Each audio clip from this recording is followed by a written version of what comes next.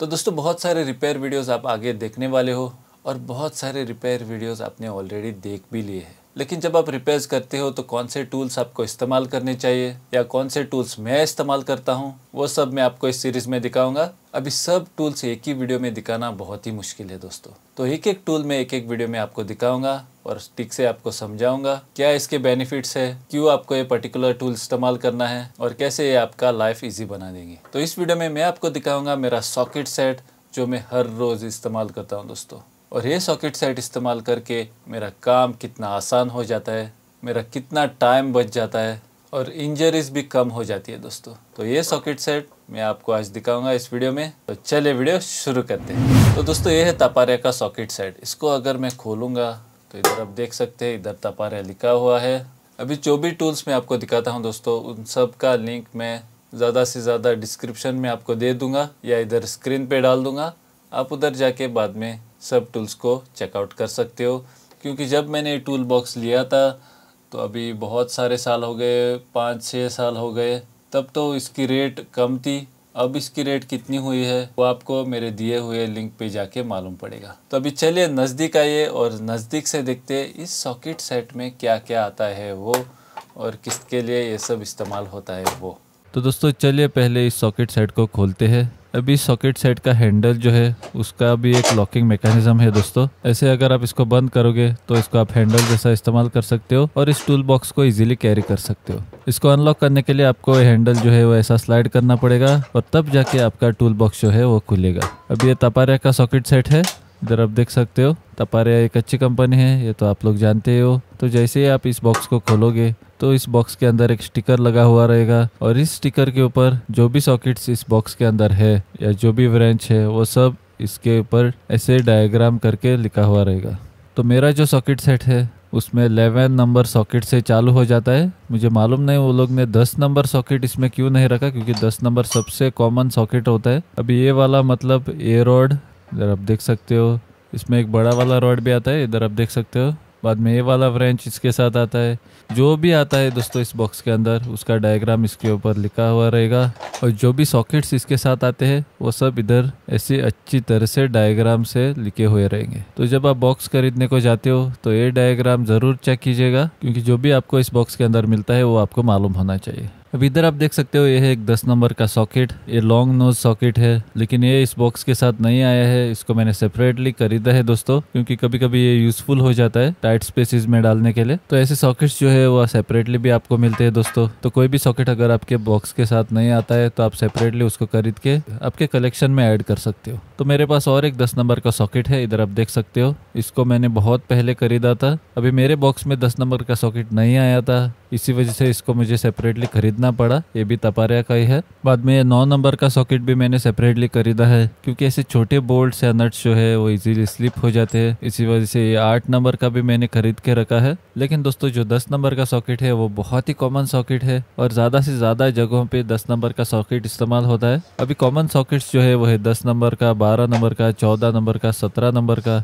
ये आपके ज़्यादा यूज़ होंगे हर बार तो ये आपके सेट में होने ही चाहिए। इसको याद रखिएगा। अभी इस बॉक्स में एक एक्सटेंशन आता है दोस्तों। इसको मैंने बहुत कम बार इस्तेमाल किया है, लेकिन बहुत ही इम्पोर्टेंट जगहों पे इस्तेमाल किया है। ये जहाँ आपको व्रेंच डालने को नहीं मिलता है, उन जगहों पे आपको इस्तेमाल करना पड़ता है। इसका थोड़ा डेमोन्स्ट्रेशन मैं आपको दूँगा। अगर आप इस एक्सटेंशन को आपके व्रेंच के ऊपर ऐसे कनेक्ट करते हैं। और इसके ऊपर अगर आप ऐसा वाला एक सॉकेट लगाते हैं तो इधर आप देख सकते हो, इतना बैंड करके भी आप उस नट को इतने आसानी से रोटेट कर सकते हो, आप देख सकते हो। तो ऐसे जगहों पे ये वाला एक्सटेंशन आपको यूज़ करना पड़ेगा। ये बहुत ही कमाल का सॉकेट सेट है दोस्तों। आगे देखते रहिए, क्योंकि और भी बहुत सारे स्पेशलिटीज है इस सॉकेट सेट को। अब ये रहा इसका ब्रेंच ये मेन ब्रांच है, जो मैं हर बार इस्तेमाल करता हूँ। इसको आप एक साइड में लॉक कर सकते हो। यही खासियत मुझे इसकी सबसे अच्छी लगती है। और इसका ग्रिप देखिए दोस्तों, इसका ग्रिप का रबर जो है, वो खराब होके बाहर निकल रहा था, फिर भी उसको मैंने टेप लगा के वैसे यूज़ कर रहा हूँ मैं। बहुत सारे साल हो गए मैं इसको यूज़ कर रहा हूँ और कुछ भी प्रॉब्लम इसने मुझे अभी तक नहीं दिया है। तो इस फ्रेंच के ऊपर इधर एक लीवर रहता है, इस लीवर को अगर आप इस साइड करोगे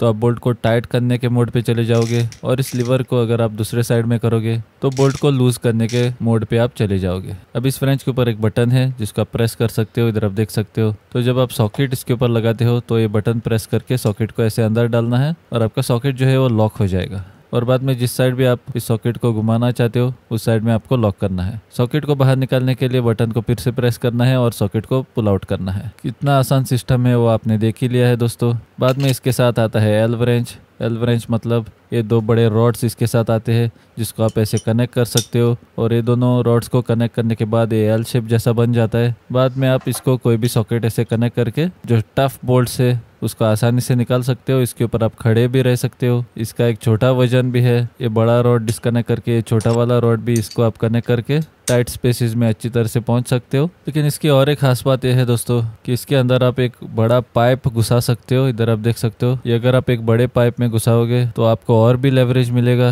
और कोई भी कितना भी टाइट बोल्ट जो है वो आप आसानी से निकल सकते हो बाहर। अब इस छोटे रॉड के ऊपर भी आप ऐसे सॉकेट को कनेक्ट कर सकते हो और कौन से भी नट या बोल्ट को बाहर निकाल सकते हो।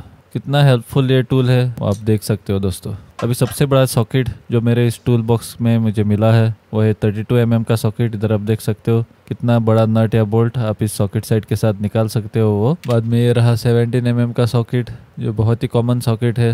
बाद में ये है 14 mm का सॉकेट और एक कॉमन सॉकेट अब इस सॉकेट के अंदर अगर आप देखोगे तो ये एंटी स्लिप सॉकेट है दोस्तों। कितने सारे साइड्स इसके अंदर है वो आप देख सकते हो। मतलब कोई भी बोल्ट या नट के ऊपर अगर आप इस सॉकेट को लगाते हो तो वो स्लिप होने के बहुत ही कम चांसेस है। उतने आसानी से वो स्लिप नहीं होने वाला है, क्योंकि नट या बोल्ट का वो अच्छा ग्रिप पकड़ लेता है। अब ये दस एम का लॉन्ग नो सॉकेट जो है, वो एंटी स्लिप सॉकेट नहीं है। तो इसके अंदर अगर आप देखोगे तो कितने कम साइड्स है वो आप देख सकते हो। तो ऐसा वाला सॉकेट जो है, वो स्लिप होने के ज़्यादा चांसेस रहते हैं। तो सॉकेट खरीदते समय ये ज़रूर चेक कीजिएगा अगर वो एंटी स्लिप सॉकेट है या नॉर्मल सॉकेट है तो। अगर ये आठ एम का सॉकेट में देखूँगा तो इसके भी साइड्स भी कम है, लेकिन ये भी एक एंटी स्लिप सॉकेट है दोस्तों। अभी इसके साइड्स जो है, वो इस वजह से कम है, क्योंकि स्पेस नहीं है इतने साइड्स बनाने के लिए, क्योंकि नट या बोल्ट का साइज़ जो है, वो बहुत ही कम है। अभी ऐसा वाला सॉकेट भी आप इसको कनेक्ट कर सकते हो। ये एलन का सॉकेट है, जो डोर लॉक्स रहते हैं, उनके ऊपर हैवी ड्यूटी बोल्ट रहते हैं एलन के तो उन बोल्ट को आपको ऐसे वाले एलन के सॉकेट्स का इस्तेमाल करके बाहर निकालना पड़ता है। अब इस फ्रेंच का और एक खासियत यह है दोस्तों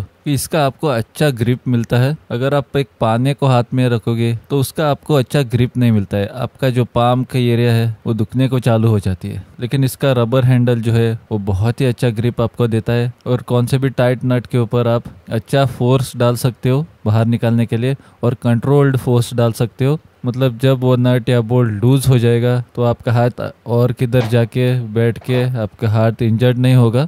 आप इसको अच्छी तरह से कंट्रोल कर सकते हो, क्योंकि ग्रिप अच्छा है और नट लूज होने के बाद स्लिप नहीं होगा। अब ये सब सॉकेट्स रॉड्स जो भी इसके अंदर है, वो स्टेनलेस स्टील से बना हुआ है। दोस्तों, बहुत ही अच्छे स्टेनलेस स्टील से बनाया हुआ है। इसका आवाज़ आप सुन सकते हो।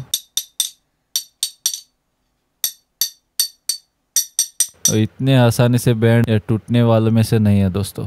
तो अगर आप एक डी हो, हॉबिस्ट हो, या खुद के रिपेयर करते हो रोज तो ये वाला सॉकेट सेट जो है, वो आपके लिए मस्ट हैव है। अभी इस सॉकेट सेट का लिंक मैं नीचे डिस्क्रिप्शन में डाल दूँगा, या इधर स्क्रीन के ऊपर कहीं भी डाल दूँगा। ये एक एफिलिएट लिंक रहेगा दोस्तों। अगर इस लिंक के ऊपर जाके आप कुछ भी खरीदते हो तो उसके ऊपर मुझे थोड़ा कमीशन मिलेगा। अब उधर जाके इसके लेटेस्ट रेट्स चेकआउट कर सकते हो और चाहे तो इस सॉकेट सेट को परचेज कर सकते हो। तो दोस्तों, ये है तपारे का सॉकेट सेट जो आप इस्तेमाल कर सकते हो आपके हर रिपेयर्स में। और आसानी से आप आपके नट्स और बोल्ट्स जो है, वो निकाल सकते हो बाहर।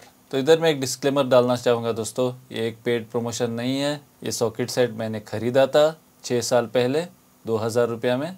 तो इधर मैं कुछ भी प्रमोट नहीं कर रहा हूँ, लेकिन ये सॉकेट सेट मेरा बहुत काम का सॉकेट सेट है। तो अगर आप एक डी हो या एक हॉबिस्ट हो तो ये सॉकेट सेट आपके लिए सोना जैसा है दोस्तों। ये आपके लिए एक मस्ट हैव टूल सेट है, जिसको आप हर रोज़ इस्तेमाल करोगे कोई भी रिपेयर करने के लिए। इसको आप प्लम्बिंग में भी इस्तेमाल कर सकते हो कार रिपेयर में भी इस्तेमाल कर सकते हो बाइक रिपेयर में भी इस्तेमाल कर सकते हो। बेसिक कोई भी रिपेयर है, उसमें आप इसको इस्तेमाल कर सकते हो। तो मैं उम्मीद करता हूँ आपको ये वीडियो यूजफुल लगा है और बहुत कुछ सीखा है आपने इस वीडियो में। तो इस वीडियो में इतना ही दोस्तों, और अब मैं मिलूँगा आपको मेरे अगले वीडियो में और एक टूल के साथ। तो अपना ख्याल रखेगा